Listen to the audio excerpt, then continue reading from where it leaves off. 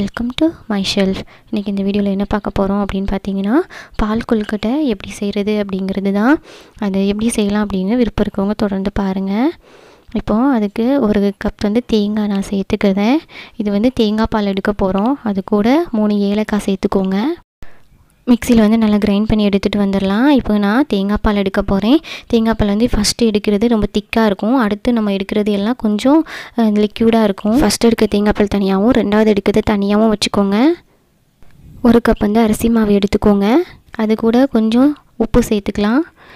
இதில் மூணு ஸ்பூன் வந்து தேங்காய் துருவல் வந்து சேர்த்துக்கோங்க. அதோடய டேஸ்ட்டு ரொம்ப நல்லாயிருக்கும் அதனால தான் நல்லா இதை மிக்ஸ் பண்ணிக்கோங்க. இப்போது ஒரு இதில் தனியாக நல்லா சூடான வெந்நி வச்சுக்கோங்க. நான் வந்து நல்லா ஹீட்டான வெந்நி தான். ரொம்ப சூடாக இருக்கும். அதனால் ஸ்பூன் வச்சு நான் கலந்து விடுறேன். கொஞ்சம் கொஞ்சமாக சேர்த்து நல்லா மிக்ஸ் பண்ணிக்கோங்க. ஏன்னா நல்ல சூடான வெந்நில நம்ம பண்ணால் தான் நல்லாயிருக்கும் கொழுக்கட்டை ரொம்ப டேஸ்ட்டாக வரும்.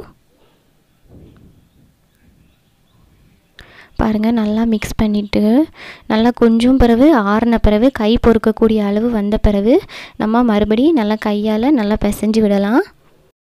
இப்போ சூடாரையும் கையால் ஒன்றா சேர்த்து பிணைஞ்சிக்கலாம். இந்த தேங்காய் பால் கொழுக்கட்டை வந்து ரொம்ப ட்ரெடிஷ்னலானது நல்ல பிள்ளைங்களுக்கு வந்து தேங்காய் பால் சேர்க்குறதுனால ஸ்ட்ரென்த்து கூட.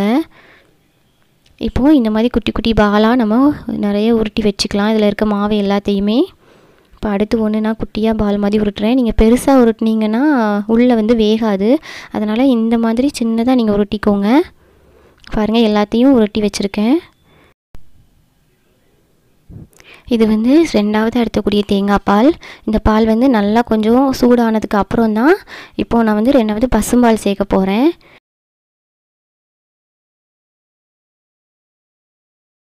இப்போ அரை கப் வந்து சுகர் நான் எந்த கப்பால் அரிசி மாவு எடுத்தனோ அதே கப்பை வச்சு தான் எல்லா மெஷர்மெண்ட்டும் பண்ணியிருக்கேன் இது நல்லா கொதித்து வரட்டும். கொதித்து வரும்போது நம்ம உருட்டி வச்சுருக்கிற அந்த சின்ன சின்ன பாலை வந்து உள்ளே சேர்த்துக்கலாம். நான் வந்து இந்த பால் கொழுக்கட்டை வந்து சுகர் சேர்த்து பண்ணேன். நீங்கள் வெல்லம் கருப்பட்டி இந்த மாதிரிலாம் சேர்த்து பண்ணலாம். அதுவும் ரொம்ப சூப்பராக இருக்கும். இந்த மாதிரி லைட்டாக கிளறி விடுங்க. இந்த தேங்காய் பால் வந்து ரொம்ப லிக்யூடாக இருக்குது எனக்கு உங்களுக்கு திக்காக வேணும்னா ரெண்டு ஸ்பூன் வந்து அரிசி மாவு சேர்த்துக்கோங்க. பால் வந்து இந்த மாதிரி நல்லா கொதிக்க ஆரம்பித்தோடனே நம்ம இது கூட நம்ம ஃபஸ்ட்டு எடுத்த தேங்காய் பாலை வந்து உள்ளே சேர்த்துக்கணும். பாருங்கள் நான் இப்போது ஃபஸ்ட் எடுத்த தேங்காய் பாலை உள்ளே சேர்த்துக்கிறேன். இப்போது இந்த பால் வந்து நல்லா கொதித்த பிறகு நமக்கு சூப்பரான பால் கொழுக்கட்டை வந்து ரொம்ப ரெடி ஆகிடும் இது வந்து நம்ம பாரம்பரியமாக நம்ம வீட்டில் வந்து செய்யக்கூடியது. ரொம்ப நல்லாயிருக்கும் அதோட டேஸ்ட்டு நம்ம பிள்ளைங்க வந்து இதை வந்து விரும்பி சாப்பிடுவாங்க. தேங்காய் பால் கூட இந்த கொழுக்கட்டையை சேர்த்து சாப்பிடும்போது அதோட சுவை வந்து ரொம்ப அருமையாக இருக்கும். இப்போ பாருங்கள் நல்லா உள்ளெல்லாம் வெந்துடுச்சு. அவ்வளோதான் ரெடி ஆயிடுச்சு. இந்த வீடியோ உங்களுக்கு பிடிச்சிருந்தா பண்ணுங்க ஷேர் பண்ணுங்க. சப்ஸ்கிரைப் பண்ணுங்க. கமெண்ட் பண்ணுங்க.